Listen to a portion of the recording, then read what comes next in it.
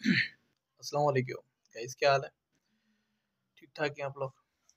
अच्छा कल मैंने कुछ मैसेज दिए थे। तो उसमें कुछ लोगों के कमेंट्स आए। कुछ लोगों ने अप्रिशिएट किया। एग्री किया इस बात का। और कुछ लोगों के कमेंट से शायद वो मेरी बात को समझ नहीं पाए।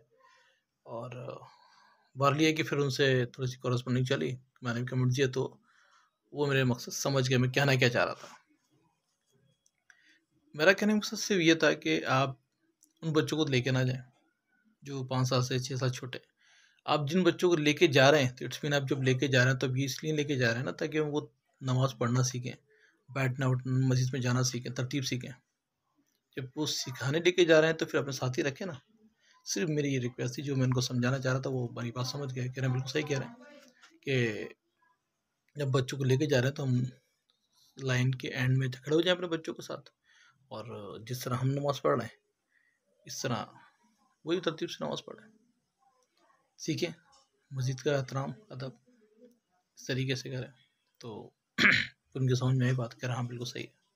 तो सिर्फ़ यही छोटा सा एक मकसद था कहने का।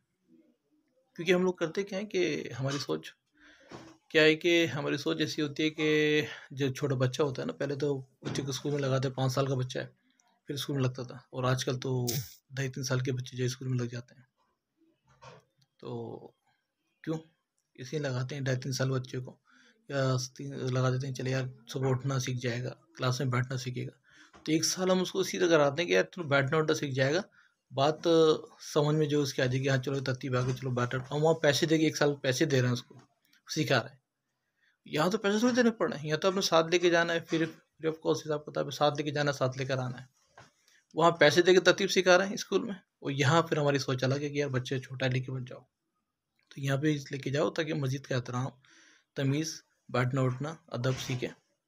और, फिर इंशाल्लाह जब वो सीख चुका होगा तो जिस दस साल में, ग्यारह साल में पहुँचेगा तो माशाल्लाह एक अच्छा नमाजी बन चुका होगा। तो आपकी मेहनत राय नहीं जाएगी। तो सिर्फ़ ये छोटा सा मकसद था मेरा। और कल लोगों ने कुछ कमेंट दिए तो मुझे अच्छा भी लगा कि लोगों ने सुनी मेरी बात। ज़्यादातर लोगों ने तो एग्री किया और कुछ लोगों का था तो मेरी बात हो गई सेट हो गया। तो बस ये दोबारा डिस्कस करनी थी कि मेरा मकसद ये है कि बच्चों को लेके जाएँ, सिखाएँ, समझें, उनको मस्जिद का एहतराम पता चले, मस्जिद में बैठना, उठना, मस्जिद में कैसे जाते हैं।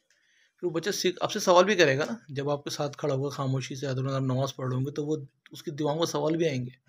तो फिर आपने जब सवाल उसको बताएँगे तो उसको और चीज़ जहन में बैठना शुरू होंगी तो मस्जिद वो सीखेगा।